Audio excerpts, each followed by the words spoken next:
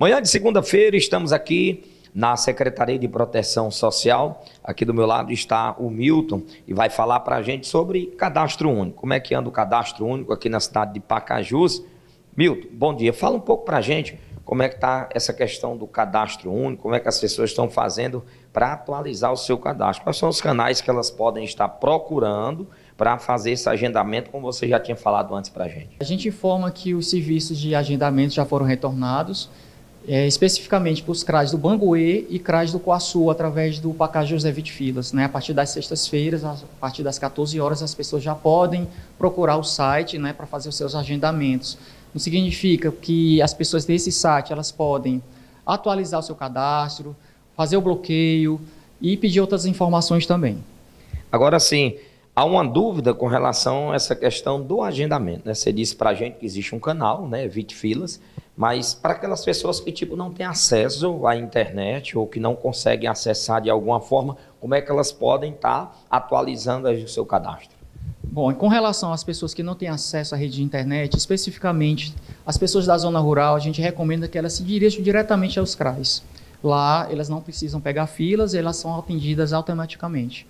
Hoje nós temos aqui em Pacajus, Milton, é três CRAs, né, que atende toda essa demanda de Pacajus. A gente sabe que é uma demanda muito grande para três CRAs que a cidade tem, né, que é o CRAs do Quaçu, o CRAS do Banguê e o CRAS da Mangabeira, né? Os CRAs, eles são de acordo com a população, né? Então, assim, de acordo com o Pacajus, que tem pouco mais de 70 mil habitantes, né? Dentro da tipificação da assistência, ele segue nessa tipificação que indica que essa cidade, no momento, tem que ter apenas três CRAs, né? A gente tem que seguir essas tipificações.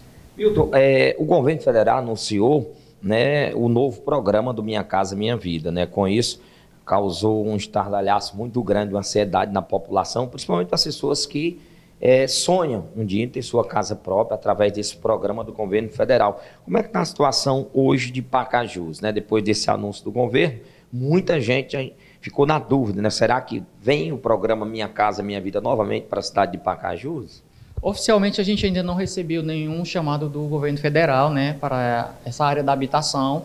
Houve uma quebra durante a pandemia, que o governo estava dando continuidade, mas aos poucos o governo federal está voltando, dando continuidade aos empreendimentos que estavam em fase de terminar, né, esses empreendimentos, e oficialmente a gente ainda não recebeu né, nenhum chamado ainda do governo federal.